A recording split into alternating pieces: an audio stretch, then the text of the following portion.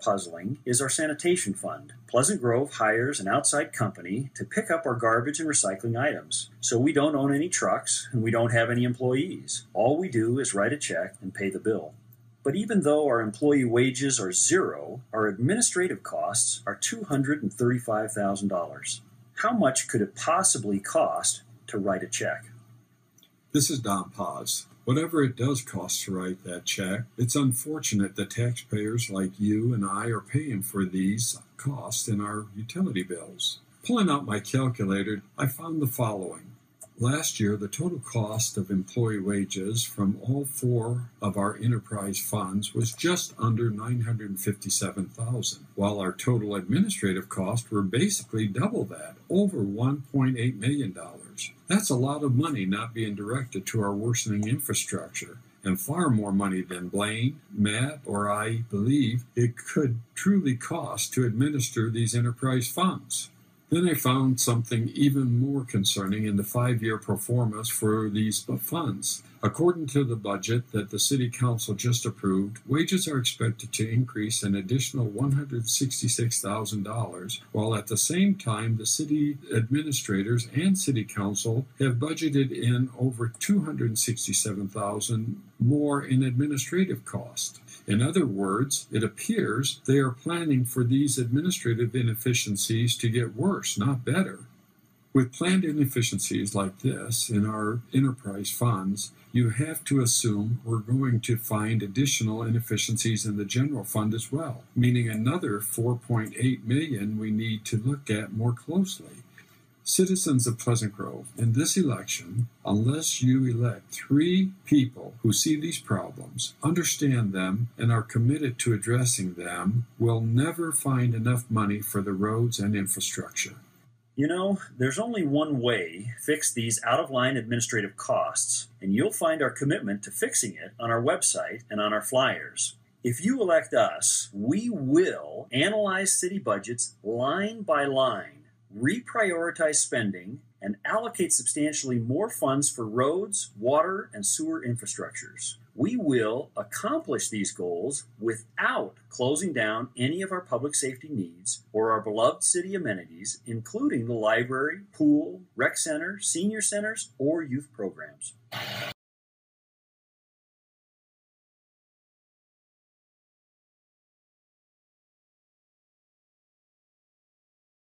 More things. Um, uh, election years are fun because I can learn a lot of interesting stuff, okay? And so there's been um, some, some neat videos that have been shown on YouTube, and I, I, they've raised some concern for me. Um, and I, I, I've snapshotted, or I screenshot the videos and printed them off if anyone needs a copy. If maybe you've seen them. Um, but there's graphs that are saying that, um, that the department spending and um, it shows that department spending is not enough, that there's not enough money going to the roads, and that we've had huge increases in the last five years. And I'm just wondering, is there a plan or money in the future for the roads?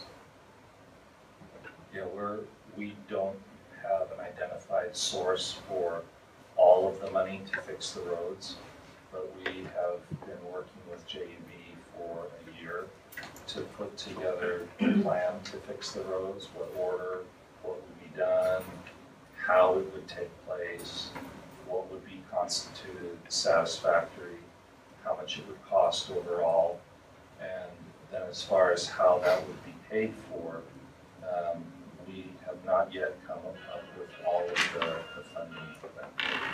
So, because um, it, it says that, uh, well, I guess does, it, does the city run a balanced, a balanced budget? We're required by law to have a balanced budget. Okay because this video, um, it talks about, maybe this might be more for, uh, for Dean and maybe for the staff, but um, it said that there is um, 1.8 million in administrative, administrative fees and costs that could be used. At least a video saying it could be used for the, uh, for the roads. Um, so there, it kind of alluded to maybe the city's padding the money, and, and I don't know where the money is going, but there is a large, substantial amount of money in the administrative costs versus the, the income, uh, the salaries. And so the video says that they could use that money for roads. And I'm just, if we're running a balanced budget, maybe help us understand, and maybe today you can't tell us, but help us understand what is that one point seven million for? I'm gonna try to give a short answer to that question. Oh, Um, give a long one. um, And if you want more, we could, uh, I could do something next week, put some slides together. Well, we could speak to that as council members. There's a lot of policy decisions made in, that are built into what the priorities are that are reflected in the budget, so. So if we wanna talk, Must do what you have. yeah. So if I give a, just a quick explanation of, when we say what the overhead allocation, or sometimes refer to those as administrative fees that are on there. So I look at it this way, you really have two types of things that the city does. We have things that are governmental activities, we call as an accounting term. I mean, those things are paid largely with taxes, um, things like police, fire, um, even a lot of our, say, parks, even some of our recreation programs, there's fees associated with them, but they don't cover the full cost. So I would try to call those governmental activities. We also have activities that, we do have fees that pay for the full cost, and typically those are our utilities, right? So water, sewer, storm drain, uh, sanitation is one of those as well. So if you think of a department budget, each one of those departments has a budget, so police officers, their supplies, their equipment, things like that, things that are directly associated with each of those um, budgets go to those, get charged to those accounts, right? Then we also have kind of a third category of things that I would call just overhead. And it's, it's really similar to, I used to work up for the the Larry Miller Group up at, up at the Jordan Commons complex, and up there we had an office tower, we had theaters, and we had restaurants. Sure. And so it's kind of the same thing, we had these operational um, departments, but then we also had overhead costs, things like administration or finance or um, custodial, those were the main things. And so each month we would get together and say, you know, those administrative things, they don't just work for one of the three groups, right? They work for all three of the groups. So we allocate those costs in some method, kind of, you know, try to have some, some way to uh, appropriately allocate however much costs that are associated with those to those, to those groups. And uh, this is really the same thing. So in addition to the governmental activities and the utilities, we also have things like, again, we have uh, finance and accounting. There's not, there's not uh, an accountant that works for the police department that just does the police. So we have central accounting, central finance. Um, Also engineering is in there. Um, Legal is in there, custodial is in there. And there's also costs that are just things like our liability insurance, things like our IT budget, we outsource our IT, so the, so the costs go of those. So, so the idea is how do we take those costs, they belong in the governmental funds, or do they belong in the enterprise funds? And so, what I try to do is, um, as accurately as possible, or as fairly as possible, try to allocate those costs between the two. So, I know when we're, the the one point seven million dollars, I know that's been mentioned in administrative costs under enterprise funds, that's essentially what I've calculated is what their share of those costs are. And it's about, I think it's about forty-five percent of the whole gets allocated to the enterprise funds and about fifty-five percent would get allocated to the governmental funds. And there is some subjectivity into any, anytime you're doing allocations like that, right? So, you know, I'm doing the best I can.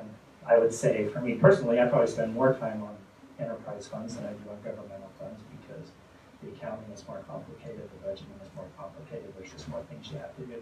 But there might be other administrative departments that, that wouldn't be that way. So, so essentially what that is, and I think the main thing to realize that is if somehow we said, well, it shouldn't be one point seven million dollars, it should be one million dollars, you know, how, what we determine that. Um, whatever we reduce those administrative costs to the enterprise funds, we're essentially putting it into the, to the governmental funds, right? So we would have to reduce the governmental funds budget somewhere to, to offset that, that cost. That So that sense? money can't, can't be absorbed and put into roads, that money's spent, whether it's in governmental or in enterprise, that, so if you took half a million out of gov, or out of enterprise, then, We'd have to cut. You would have half to- of governmental fund.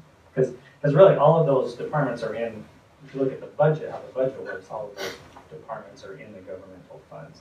And so, we're saying the enterprise funds are gonna pay back a portion of that cost, because, again, what, what the exact number is could be a little bit up for debate, but it's certainly not zero, and it's certainly not hundred percent, it's gotta be somewhere in the middle. So, but yeah, any money we would cut out of there, yeah, it wouldn't be available for roads, we'd have to cut it out of the general fund somehow. And I, I get it, I understand overhead. And they're done that one. So it's really no different than the concept that a lot of companies do, where you have certain overhead costs that you have to allocate to cost centers. and that's- You're taking a percentage of what you think those departments are using, and that's a percentage of the total money, and that's their percentage of it that it needs. Right. That, that was the short answer. The long answer would involve a whiteboard and some graphs. So, so I guess they, maybe, I don't understand what you're saying. The one point seven million just can't be taken and used for something else. These are salaries, these are administrative costs, these are, I mean, there's a, a lot of things associated with these costs that they just can't be put towards roads or public safety or something like that. Yeah, Is I that mean. Specifically, he says, administration, these services include city administrator, finance and accounting, legal, engineering. There are also costs related to property and liability insurance, information technology, utilities, custodial and maintenance services. Uh, basically, these services aren't specific to either government services or utilities. They're to support both government services and utilities. So they need to be, they're, they're people, and they need to be divided up and and shared amongst all of the departments according to his estimate of how much each department uses. And so the reason it's not under the salary is because they're not a dedicated employee for that department. department? Is that, Right. is that they- why it falls under administrative costs? Yeah, and like I said, there's things I do for both governmental departments and enterprise departments. So all of those things I mentioned serve both, both functions. And David mentioned too, like our front office staff, but back then, they primarily, a lot of them primarily deal with utility billing, dealing with utilities, right? Because they're receiving payments and